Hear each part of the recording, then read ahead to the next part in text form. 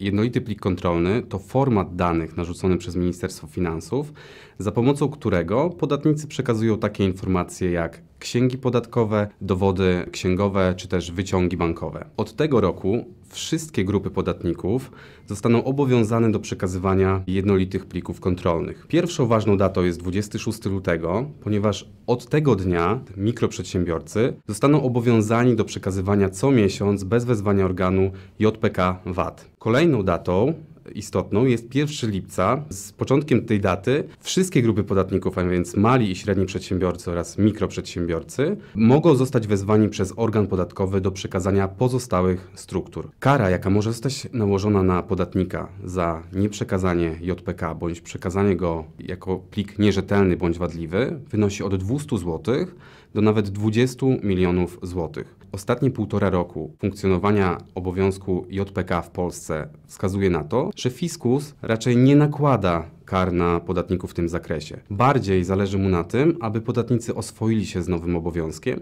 W momencie, kiedy podatnik już wie, że nie uda mu się wysłać pliku w określonym terminie, wnioskuje do właściwego organu podatkowego o odroczenie tego terminu. Z doświadczenia wiemy, że instytucja odroczenia terminu przewidzianego w prawie podatkowym sprawdza się, ponieważ organy podatkowe nie stwarzają większych problemów, aby odroczyć termin do przekazania JPK VAT.